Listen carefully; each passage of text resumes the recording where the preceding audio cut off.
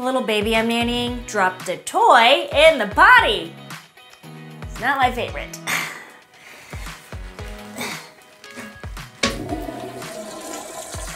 Victory!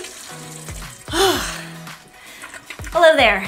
I'm Emma, and I just showed some big time initiative. Initiative is seeing what needs to be done and doing it. And even though as a nanny, it's not my job description, I just unclogged this toilet.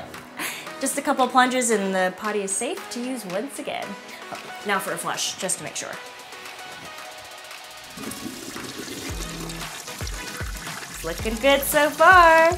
I've got my eyes on me. Oh, got a text. It's my friend Ty.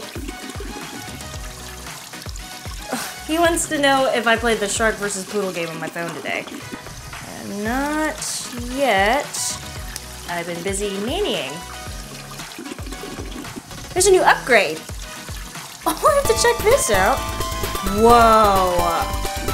This is cool. Oh. Ooh, I'm coming for you, poodle! Whoa.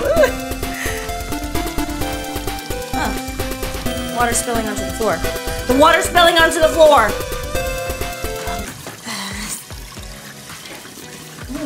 No, no, no, no, no.